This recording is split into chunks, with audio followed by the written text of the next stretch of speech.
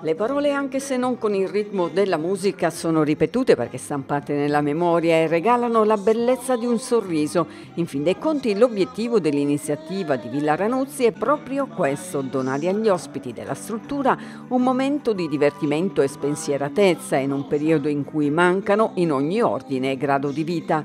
Si chiama Concerti alla finestra, l'iniziativa voluta dalla dottoressa Federica Taddia, responsabile del servizio socio-educativo della CRA Bolognese Bolognese associata al Consorzio Ospedaliero Colibri.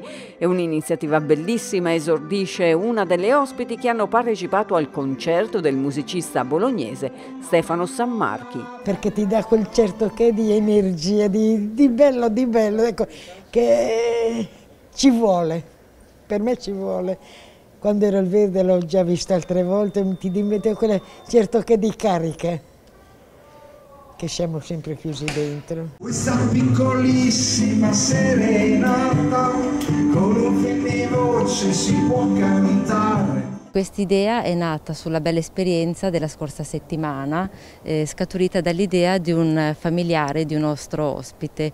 È un messaggio molto importante di rinascita e di speranza per i nostri ospiti, come noi abbiamo ripreso ad andare al cinema, al teatro, quindi anche per loro è un aspetto molto importante. E da adesso in poi anche noi eh, modo, faremo questa iniziativa in modo fisso. Un momento di gioia e convivialità per dare un messaggio di riapertura alla vita attraverso il potere terapeutico della musica. Sansa!